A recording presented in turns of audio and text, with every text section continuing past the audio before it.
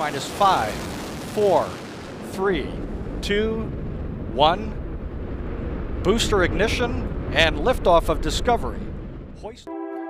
ഇങ്ങനെ കോണ്ടോൺ പറഞ്ഞുകൊണ്ട് ആരംഭിക്കുന്ന ഓരോ ബഹിരാകാശ പേടകത്തിനകത്തും സ്വന്തം ജീവൻ പോലും വകവെക്കാതെ ലോകത്തിന്റെ വലിയ പ്രതീക്ഷകളുമായി മുന്നോട്ട് കുതിക്കുന്ന ധാരാളം ബഹിരാകാശ സഞ്ചാരികളുണ്ടാവും. സ്വന്തം ജീവൻ പോലും പണയം വെച്ച് യാത്ര പുറപ്പെടുന്ന ഈ ബഹിരാകാശ സഞ്ചാരികൾക്ക് എത്രയായിരിക്കും ശമ്പളം ലഭിക്കുക? അതുപോലെ തന്നെ ഇവരെ പോലെ നമുക്കും ആകാൻ സാധിക്കുമോ? എന്നതിനെ കുറിച്ചാണ് ഇന്നത്തെ വീഡിയോയിൽ ഞാൻ നിങ്ങളോട് പങ്കുവെക്കുന്നത്. ആദ്യം നമുക്ക് ഇവർക്ക് ലഭിക്കുന്ന ശമ്പളം എത്രയാണെന്ന് നോക്കാം. പൊതുവെ ഇത്തരത്തിലുള്ള കാര്യങ്ങൾ രഹസ്യമായാണ് വെക്കാറ്. എന്നാൽ അമേരിക്കൻ ബഹിരാകാശ ഏജൻസിയായ നാസയുടെ വെബ്സൈറ്റിലൂടെ ഒരു വ്യക്തി ഈ ശമ്പളത്തെക്കുറിച്ച് ചോദിച്ചപ്പോൾ അവർ കൃത്യമായ മറുപടി നൽകുകയും ചെയ്തു. അസ്ട്രോനോട്ടുകൾ എന്നറിയപ്പെടുന്ന അമേരിക്കൻ ബഹിരാകാശ സഞ്ചാരികൾക്ക് നാസ ശമ്പളം നൽകുന്നത് പല ഗ്രേഡുകളായിട്ടാണ്. ഇതിൽ ഏറ്റവും താഴ്ന്ന ഗ്രേഡുള്ള അസ്ട്രോനോട്ടിന് ഓരോ വർഷവും ലഭിക്കുന്നത് അറുപത്തി ആറായിരത്തി ഒരുന്നൂറ്റി അറുപത്തി ഏഴ് ഡോളറാണ്. ഏകദേശം നാലേകാൽ ലക്ഷം ഇന്ത്യൻ രൂപ ഓരോ മാസവും ഇവർക്ക് ലഭിക്കും. ഗ്രേഡ് കൂടുന്നതനുസരിച്ച് ഈ ശമ്പളം കൂടുകയും അവസാനം ഏറ്റവും ഉയർന്ന ഗ്രേഡുള്ള അസ്ട്രോനോട്ടിന് ലഭിക്കുക പ്രതിമാസം ഏകദേശം ഏഴ് ലക്ഷം ഇന്ത്യൻ രൂപയായിരിക്കും. എന്നാൽ ഇവക്ക് പുറമെ നാസ അടുത്തതായി ലക്ഷ്യം വെക്കുന്ന ചൊവ്വാ ദൗത്യത്തിന് പുറപ്പെടുന്ന ബഹിരാകാശ സഞ്ചാരികൾക്ക് നാസ നൽകുന്നത് ഏകദേശം ഒരു മാസത്തിൽ പത്ത് ലക്ഷം ഇന്ത്യൻ രൂപയാണ്.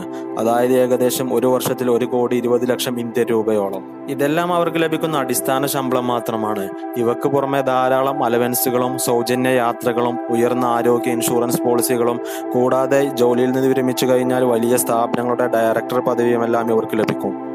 ഇതെല്ലാം കേട്ട് നിങ്ങൾക്കും ഒരു ബഹിരാകാശ സഞ്ചാരിയാകണമെന്ന് ആഗ്രഹമുണ്ടോ? എങ്കിൽ കുറച്ചധികം ബുദ്ധിമുട്ടേണ്ടി വരും. ലോകത്തൊരാൾക്കും നേരിട്ട് ആദ്യം തന്നെ ഒരു ബഹിരാകാശ സഞ്ചാരിയാകാൻ സാധിക്കില്ല. അയാൾ ആദ്യം ഒരു ബഹിരാകാശ ശാസ്ത്രജ്ഞനോ അല്ലെങ്കിൽ ഒരു വ്യോമസേന പൈലറ്റോ ആയിരിക്കണം. ഈ പൈലറ്റിന് മൂന്ന് വർഷത്തെ പ്രവൃത്തി പരിചയമോ അല്ലെങ്കിൽ ആയിരം മണിക്കൂർ ഫ്ലൈയിങ് അവേഴ്സോ ഉണ്ടായിരിക്കണം. കൂടാതെ സയൻസിലോ മാത്സിലോ എഞ്ചിനീയറിംഗിലോ ഉന്നത ബിരുദവും ഉണ്ടായിരിക്കണം. ഇത്രയൊക്കെ ഉണ്ടെങ്കിൽ അടുത്തതായി ബഹിരാകാശ ഏജൻസി നടത്തുന്ന വളരെയധികം ദുഷ്കരമായ പരീക്ഷയാണ്.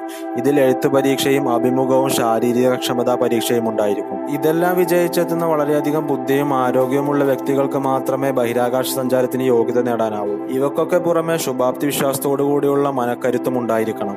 കാരണം വളരെയധികം ശക്തമായ ഭൂമിയുടെ ഗുരുത്വാകർഷണ ബലത്തെ ഭേദിച്ചുകൊണ്ട് റോക്കറ്റുകൾ കുതിച്ചുയരുമ്പോഴും തിരിച്ചിറങ്ങുമ്പോഴും അപകട സാധ്യത വളരെയധികം കൂടുതലാണ്. ധാരാളം ബഹിരാകാശ പേടകങ്ങൾ ഇങ്ങനെ തകർന്നു പോവുകയും ചെയ്തിട്ടുണ്ട്.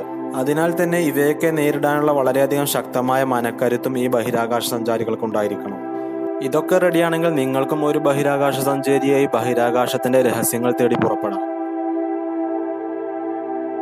വീഡിയോ ഇഷ്ടമായി ലൈക്ക് ചെയ്യുക ഷെയർ ചെയ്യുക താങ്കളുടെ അഭിപ്രായങ്ങൾ കമന്റ് ചെയ്യുക.